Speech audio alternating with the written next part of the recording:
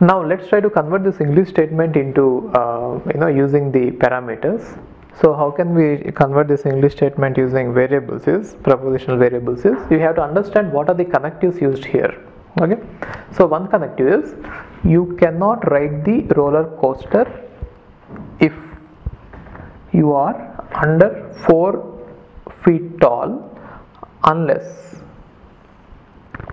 unless you are older than 16 years. So if you see this, there are actually three statements here. So for each statement you can give uh, one variable so that it will be uh, convenient to represent them.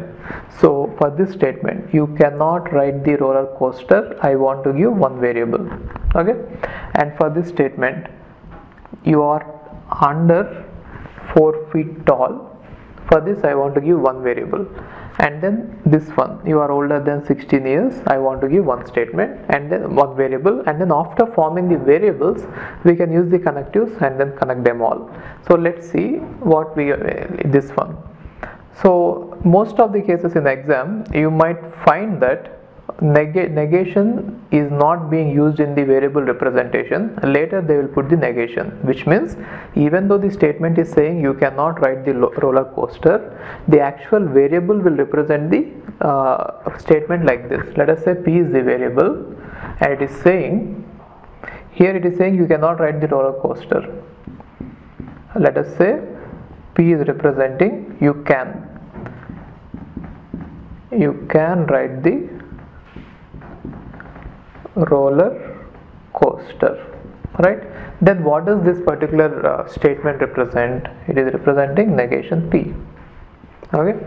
And the next one is you are under 4 feet tall. Let's represent it using q. Q is representing you are under 4 feet tall and R is representing let us say this statement. You are older than 16 so first step is you have to identify what are the statements and what are the connectives. And then you have to understand what is the meaning of each connective. So this one we'll see it later. Now let's see this unless. So how to interpret unless is you are under 4 year 4 feet tall unless you are older than 16 years.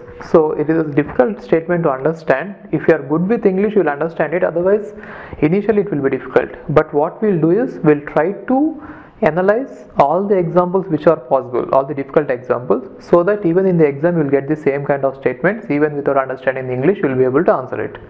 Got it? So what I what is that I'm trying to say is you are under 4 feet tall unless you are older than 16 years has the same meaning as you are under 4 years tall 4 feet tall and you are not older than 16 years which means I can remove this unless and I can put an and here. And since unless is removed here I have to add a negation which means not. Got it? Therefore these two statements will combinedly form a compound variable like this. If this one is representing Q and earlier one was representing R without not, right?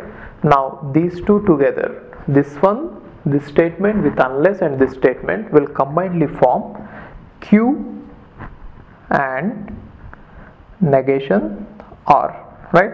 So this entire thing is going to form q and negation r and now we have negation p here right? And these are the compound statements we are able to get.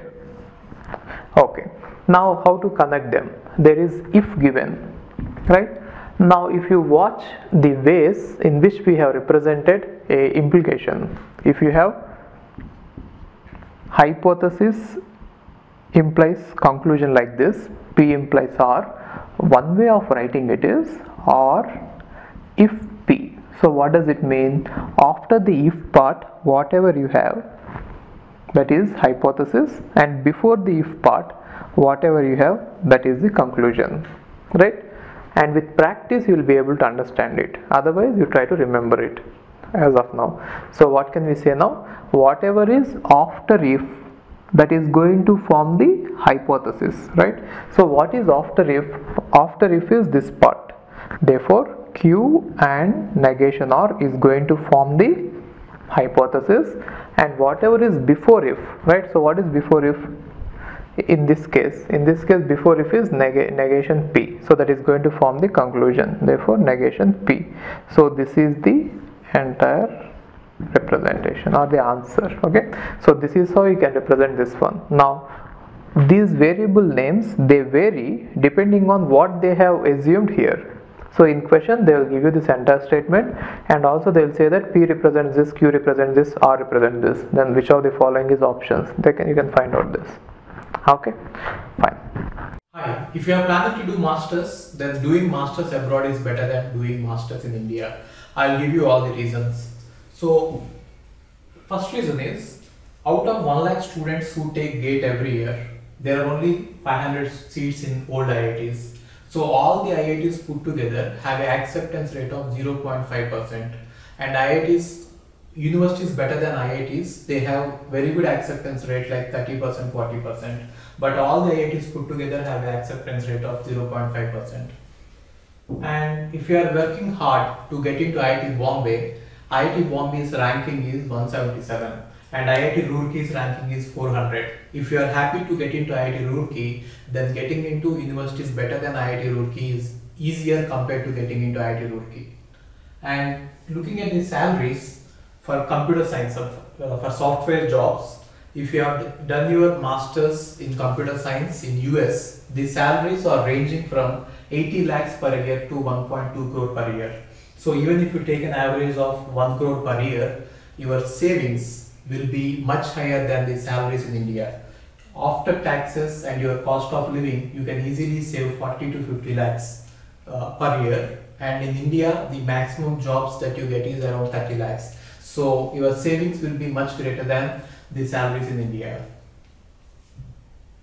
And these are all the services that we provide. University shortlisting. So depending on your profile, we will shortlist what are the universities that you have to apply and statement of purpose building and then LOR guidance and GRE and English test assistance and education loan assistance. So you don't have to have any collateral, which, which means without any security, now you can get education loan. Getting education loan is very simple these days and whatever the amount fee, the amount of uh, fee that you have, you have a range of uh, universities. You can apply for 10 lakh universities, 20 lakh universities or 50 lakh universities. But whatever it is, you are going to get complete education loan and you can pay off your education loan in one year after you getting it, after you get a job. And then we do visa assistance, mock visa interviews, and then connecting with the university alumni. So now you might ask why we should join Game of Visas. So the answer is we have 90% success rate, 99% success rate. And these are all the destinations that we guide the students to. So we guide students to any country that you want to go. So now it is not just usa we guide to uk germany australia canada. So we guide we guide students to all the countries. We work with all the destinations. And if you are interested in going abroad you have to just drop us a message on this whatsapp number 9494 okay? Thank you